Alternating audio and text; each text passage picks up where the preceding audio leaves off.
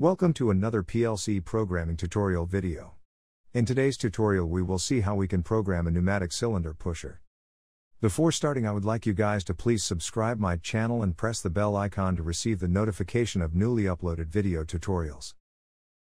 Let's start today's tutorial. As you can see that this setup have a pusher operated by the pneumatic cylinder. This pusher is pushing three paint buckets towards the inspection machine conveyor. Let's see what our devices and sensors we are using in this setup. We have installed a proximity sensor to detect the paint bucket presence. This sensor is connected at I0.0 PLC input. Next we have installed a reed switch on the cylinder body. This reed switch will be turned on once cylinder is in back or home position. This reed switch is connected at I0.1 input of the PLC. Next we have another reed switch installed on the cylinder body. This reed switch will be turned on once cylinder is in forward position. This reed switch is connected at I0.2 input of the PLC. Next we have a pusher cylinder, which is used to create a linear motion. This cylinder will be activated by the PLC output Q0.1. Next we have installed a geared motor to drive the infeed conveyor.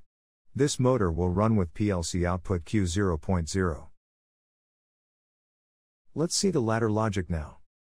In network 1, there is a auto start M10.0 bit. This bit is to start the process in auto mode. Next we have connected, in series a bucket sensor I0.0. This normal open contact I0.0 will be closed once paint bucket comes in front of this sensor, and this will start a debounce contact timer, and once timer is over buckets ready to push output bit, M10.1 will be turned on. In network 2 we have logic to start the pusher cylinder. Once auto bit, M10.0 and buckets ready to push bit, M10.1 is on and cylinder back reed switch I0.1 is on, this will latch on the output bit, Q0.1 and pusher will start to move forward. Once pusher reached forward position, it will turn on pusher forward reed switch and its normal close contact will open and turn off the output, Q0.1 and pusher will come back to home position. Network 3 is to start and stop the infeed conveyor. Logic is simple, once auto bit is on and pusher in the home position, this will start the infeed conveyor. And once pusher is away from home position, in feed conveyor will stop. Now let's test the ladder logic. We will slow down the animation so that we can understand how the logic is working. As soon as the paint bucket comes in front of the sensor I0.0, timer starts, once timer is over. It will turn on buckets ready to push M10.1 bit. Now in the network 2 normal open contact of the M10.1 bit closes. And pusher home or back reed switch sensor is on, this latch on, pusher output Q0.1, and pusher starts to move forward and pushes the bottles on the inspection conveyor.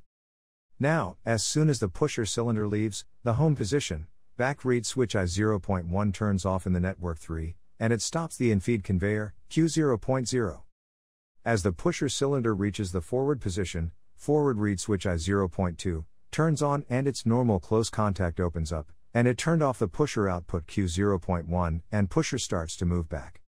In network 3, as soon as the pusher cylinder reaches the back or home position, back reed switch I0.1 turns on and starts the infeed conveyor, and again paint bucket starts moving on the platform and this cycle will continue. Now we see the animation in the real speed. So that's the end of the today's tutorial. I hope you like it. Please share, like and subscribe and stay safe. Till next time take care and goodbye.